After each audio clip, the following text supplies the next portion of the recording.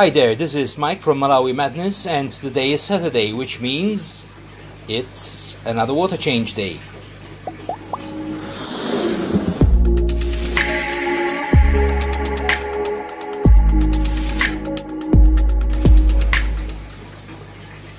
So, um, I just decided to uh, fire off a very short video um, to introduce my newcomers. As you can see here, we've got um, a grow out tank which I'm keeping for um, uh, uh, some Malawi peacocks.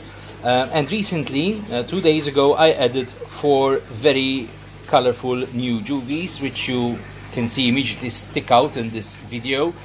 Um, uh, and the question here is um, are these juvies juiced with hormones or are they actually um, going to color up uh, and keep the color which they have?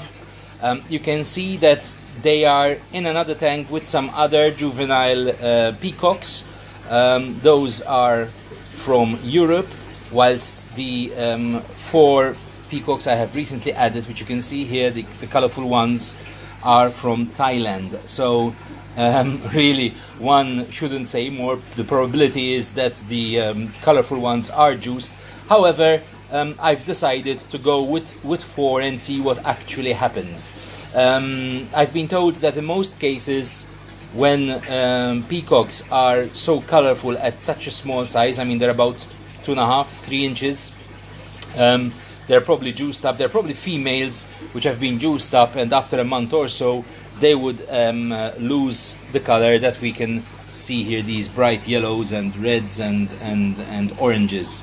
Um, so I thought, okay, let's let's give it a go. Let's see in a month's time whether they still keep their color um, or not, and whether indeed these are juiced up fish. Um, I apologize for the background noise that you're hearing, but as I said, um, today is, Saturday. It's um, water change day, and therefore we've got some water changes in in the uh, tanks going on. As you can see here, we've got some some fry, uh, some more grow out uh, tanks, um, and even the altums are in for water change today. Um, so yeah, there's a bit of noise going on, and I apologize for that. So, um, I'd really like to uh, hear your comments. What do you guys think? Are these peacocks juiced or not? Um, and actually wonder how do they do it? What do they do? Do they inject them? Do they feed them? Um, and if anybody out there knows the process and, and, and what is used to juice up fish, I'd be more than uh, interested uh, uh, to know about this. And if you'd leave a, a comment in the section below, um, um I'm always eager to learn some new stuff. So that's it for today. I thank you for, for watching this video. If you like the video, please give us a subscribe and a thumbs up. We'd really appreciate it.